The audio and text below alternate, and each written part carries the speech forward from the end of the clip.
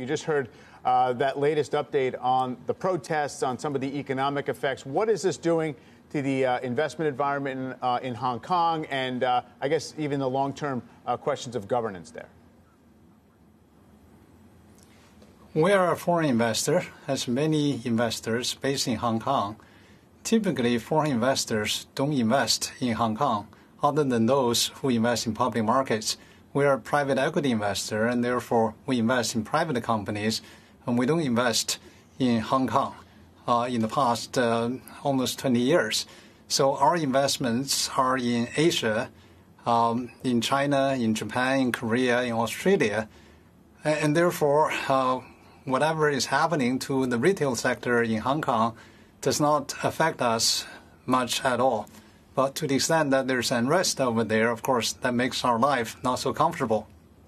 Why have you not invested in Hong Kong in the past 10 years? Was it uh, something you saw about the investments there or something else? Hong Kong is a very small market. Uh, 25 years ago, Hong Kong's GDP was about 25% of China's. Today, it's about 2%. And the business is mostly dominated by properties and uh, by, I suppose, retail. So it's relatively small market. As private equity firm, we invest uh, hundreds of millions of dollars, sometimes billions of dollars, and therefore it's very difficult to find large buyout opportunities in Hong Kong. Uh, I mean, the, uh, obviously, it's not a perfect uh, gauge of what's happening there uh, on the ground, but I mean, the Hang Seng Index in five months, it's down more than more than 10 percent. It seems to be weighing uh, on uh, perhaps regional sentiment. I mean, how do you fit what's happening in Hong Kong into the broader kind of Asia economic environment that's already being stressed by this trade war? I think the effect of the arrest in Hong Kong has on the rest of Asia will be quite limited. I think it will be largely confined to Hong Kong itself.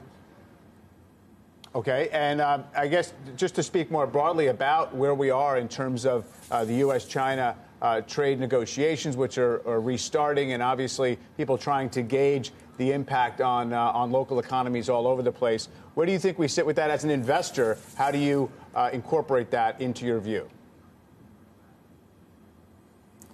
And trade war, of course, hurts everybody, both warring parties as well as the global economy.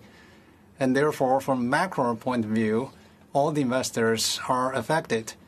And as far as we're concerned, we have focused on investing in businesses which cater to private consumption in different countries in Asia, and therefore we are not directly affected.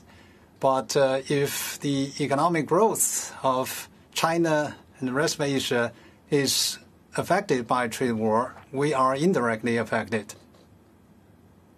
So, do you not believe that uh, economic growth in those domestic economies is as yet been very affected by the trade war? No, not so much. If you look at the real effect, even on China, it's quite limited.